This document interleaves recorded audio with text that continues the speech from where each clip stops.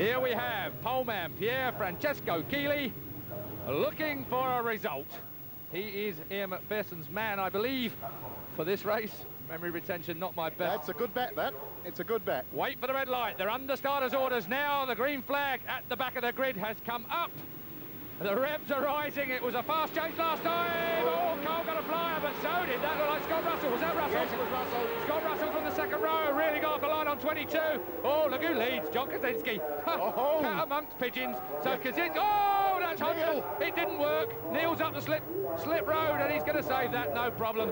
Neil Hodgson. Well, you've got to feel sorry for Neil Hodgson. Sorry for those of you at home that are watching Neil. He has gone out of this race despite all those problems with his bike. He's not sorted them out.